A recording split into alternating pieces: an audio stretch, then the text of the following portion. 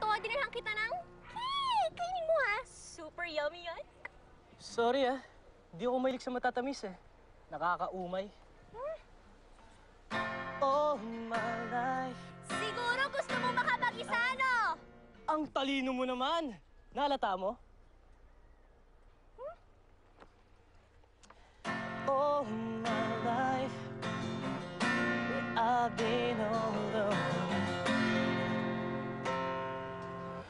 Kaya magandang susunod na line doon?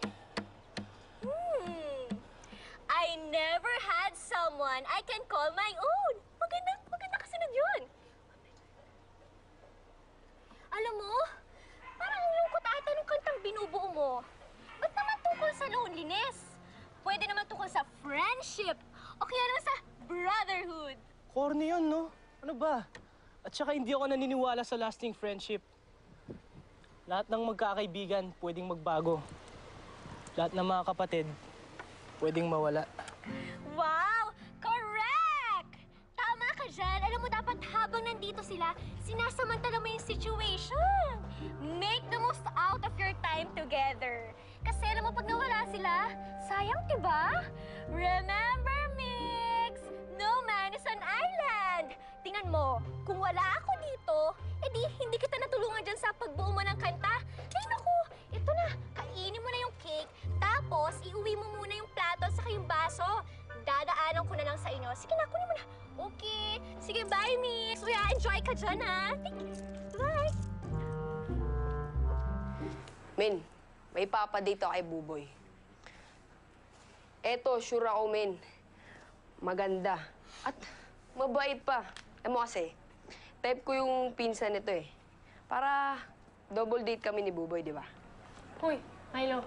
Ano ba kayo mga bugaw? Hayaan mo na magkagusto si Buboy sa ibang babae. Hindi. Alam mo ang kailangan ni Buboy? Yung babaeng type siya. Yung tipong hindi na siya papahirapan. At para bang lumalabas na siya, yun na, siya na yung liniligawan. Kasi alam mo naman si Buboy, sobrang easy to get. Eh di ba kilala mo si Alma, etong dito sa kabilang kanto, yung babae. Binigyan lang ng fishball si Buboy. Yun! Ngayon, sila na. Laging magkasama, nagde-date. Oh, Oo, men. Alam mo, Tek-Tek, tama kay. Ang kailangan ni Buboy ay isang babae na mamahalin siya ng lubos. Uy, salamat ah. Salamat. Pasok ko na sa loob.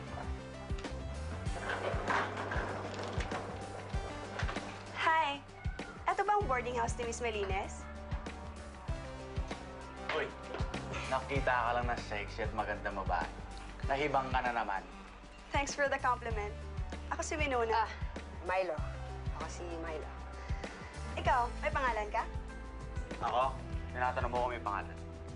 Ikaw tatanungin ko, nakakita ka na ba ng tao walang pangalan?